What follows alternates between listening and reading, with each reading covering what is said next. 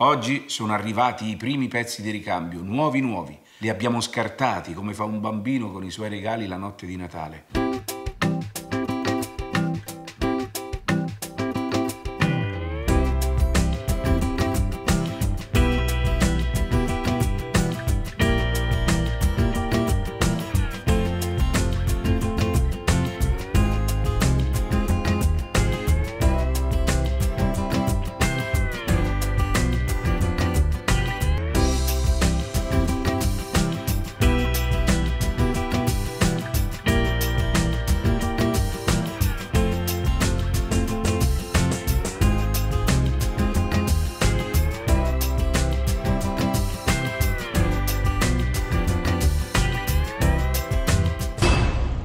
Allora, il frontale, Ce l'abbiamo.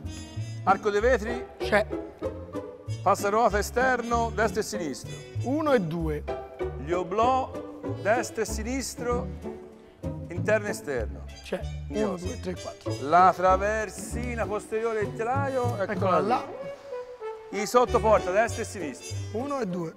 Pianalino batteria, l'ho visto. Sì, in fondo. Eccolo lì. Quattro cavalletti. Ogni cosa. Tutto? C'è tutto. Number one, organization. Perfetto. Meraviglioso. Questo sarebbe il T1 esploso, Esploso. Esploso. a terra. Spiaccicato. Ah, fantastico. C'è tutto. C'è tutto. C'è anche Tutto. l'impianto elettrico, guarda. Ah. E tu lì al centro sei sul, Nel centro, sul tetto. sei sul tetto, che è in tela, Sì. perché è un samba. Samba. È un samba. tetto in Sì. tetto. E il tetto in tela dov'è? Tetto in tela. Ma nella scatola non c'era, eh? Non c'era, un conto. Tu lo devi ordinare a te. E l'unica cosa che dovevi ordinare a te è l'erittetto. Ordinare io, ma te il capo.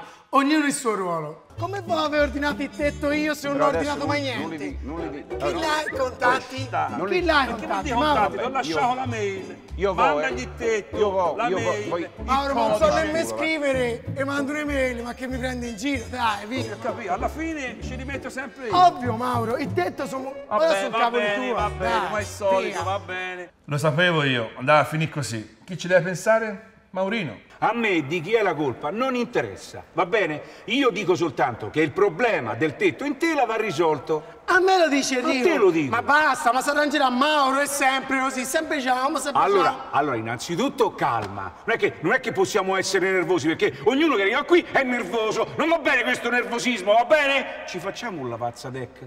È meglio, eh.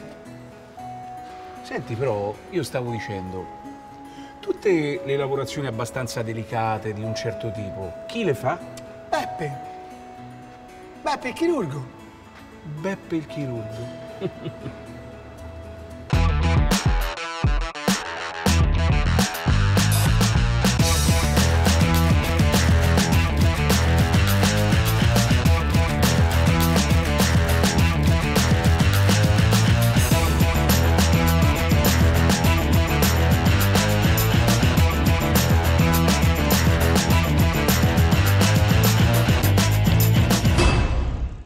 Ragazzi, quando Beppe lavora meglio non avvicinarsi, io ve lo dico. E visto che io non ho niente da fare, sono a Firenze, ne approfitto per andare a trovare un amico, un vero amico. Volevo vedere se venivi in Toscana Ah. e non mi chiamavi, eh. Che miseria. Sono dovuto venire a Firenze per vedere. Eh. Oh.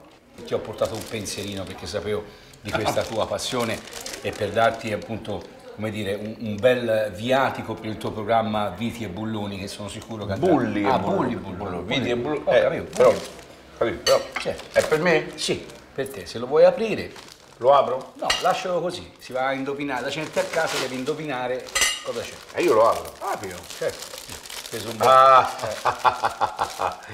eccolo. Ecco. Vedi? Vedi? Ma Questo perché- è il scusa, T1, come lo sapevi? giusto? No, cos'è? Questo è il T1. T1. Questo qua Eh. è un T1, vabbè, gli adesivi chiaramente È quello di Renato Pisa Zero, questo. sì, questo è il di È Renato il T1 Zero. di Renato Ma Zero. questo è un T1, Eh. detto anche Samba, che in effetti il soprannome di questo, cioè il nome che gli veniva dato, era quello degli anni 60, Peace and Love, vedi? Uh-huh. Ma poi un Samba perché è completamente vetrato.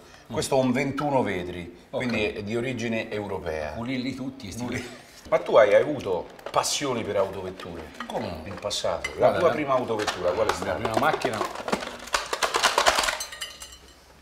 Guarda, se ti aggiusti le macchine così, Eh, oh, non ne so quanto ne esce da quell'officina, eh. Allora, io ho cominciato, la prima macchina che mi sono potuto permettere usata, una Renault 4. Ti ricordi la Renault 4? Che Renault aveva il 4, cambio come questo, come questo sedan. A cloche. A cloche, esatto, Eh. questo qua.